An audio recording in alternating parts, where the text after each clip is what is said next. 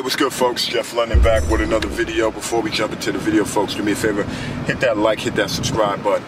Real quick, I've been getting this question a lot. It's been coming up more often. It's just about how to get stronger and um, how to increase strength. So, in order to increase strength, it's a different modality. With strength, a lot of people kind of mix this up. But if you want to build muscle or you want to get stronger, you they're two different approaches, if not the same thing.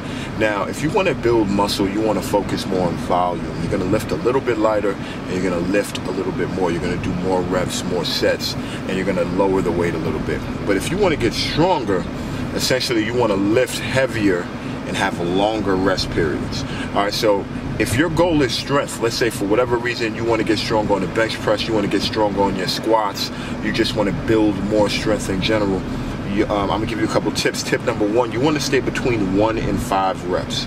All right, nothing more, nothing less.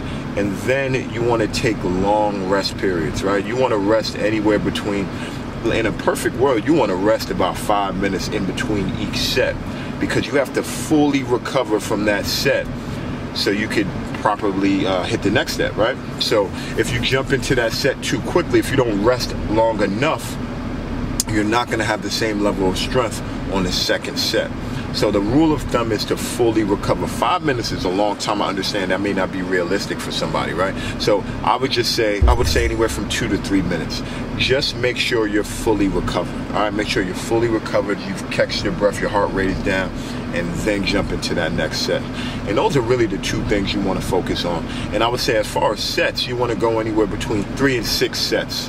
All right, and that's what you want to do for strength. And the last tip is, is you want to lift nine, 85 to 90% of your one rep maximum, right?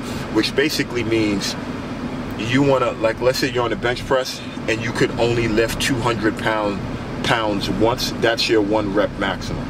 So you want to probably lift around 180 pounds, 190 pounds, maybe 175 pounds of your one rep maximum. So anywhere between 85 and 90% of your one rep maximum.